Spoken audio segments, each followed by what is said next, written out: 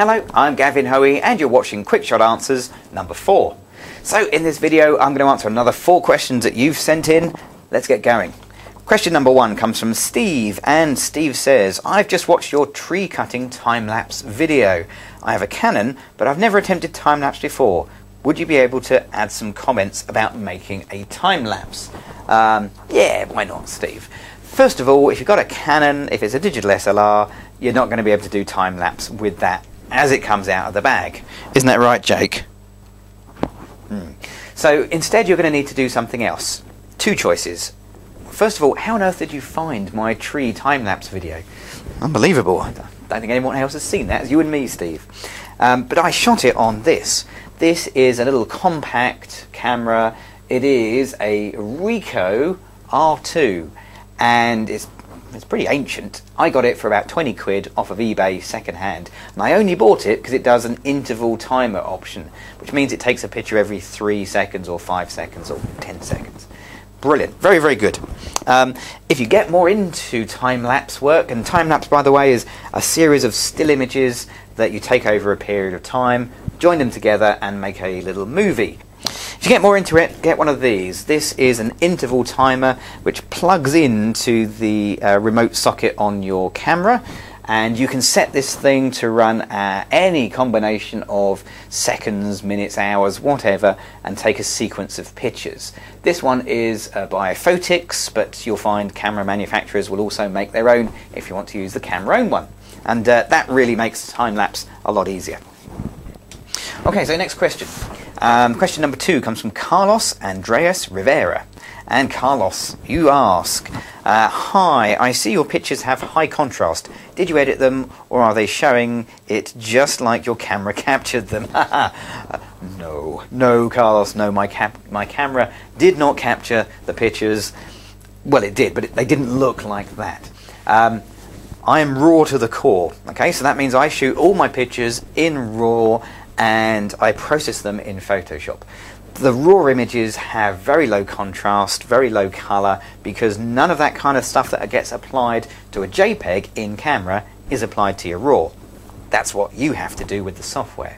Now, whilst I'm doing it, I, I, like contrast, so I'll push up the clarity, the contrast, and the blacks. I, I kind of call it grunging my image. I don't do it to every picture, but I do do it quite a lot. Okay, so uh, next question comes from Stefan. And Stefan says, Hello, Gavin. Greetings from Romania. Hello, Romania. Um, Gavin, please explain to me how you do those panoramic pictures of Winchester Cathedral and do you shoot RAW? Please, yes, of course I shoot RAW. I only, all to the core. I only shoot RAW. Um, how does it work? Well, you're going to need a camera first of all, aren't you? Let me, let me go and get a camera. Hang on a lens. Let's just uh, attach the two together. I'd recommend having your camera set up before you take your panoramics. Um, with a panoramic, you're going to take a sequence of individual pictures and then stitch them together. Now, what you want is the exposure to be more or less the same all the way across. Now, that doesn't necessarily mean you want it to be correctly exposed uh, here and here and in the middle, but what you, what you want is the pictures to have an uh, a generic exposure all the way across, so they blend seamlessly together. Now to achieve that, I take a meter reading from the middle of my image. So I'll put my camera on aperture priority, AV mode, and I'll choose my aperture, because I'll be choosing my depth of field that way, uh, f5.6 for example, and I'll take a reading, which is 50th of a second. So 50th of a second, f5.6, switch to manual, put those in, turn my camera on its side to take my pictures in portrait format because you get a deeper panorama that way and then take a sequence of pictures all at a 50th of a second I've f5.6 or whatever your meter reading is. That way they all have the same exposure all the way across and when they stitch together they stitch together beautifully without any sudden changes of exposure good okay um, have we got to the last question? No, there's one more. One more to go. Last question comes from Harry Young. And Harry says, I am a student photographer. I'm looking to get into theatre and theatre production photography. I have a Canon 1000D. What lens would you recommend for theatres and plays? You haven't said how much, Harry.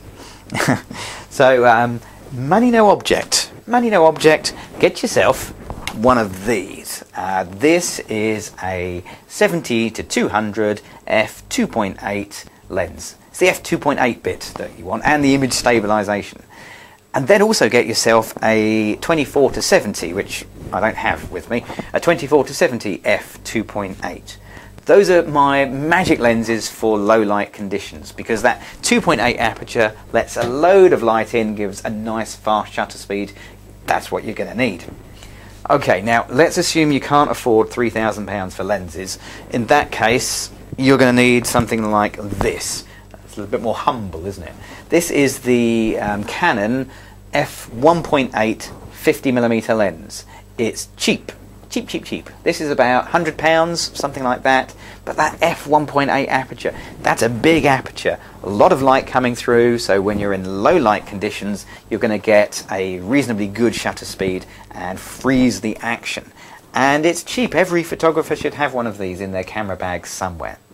So there you go, Harry. That's what you need. You need a 50mm f1.8 or a lot of money to buy a good range of f2.8 lenses. So there we are, that's another four quick shot questions answered, done, dusted, and finished. If you've got a question of your own, you know my website by now, www.gavtrain.com. Fill in the form, send it back to me, and it could be your question that I'm answering right here in my very next video. I'm Gavin Hoey, thanks for watching.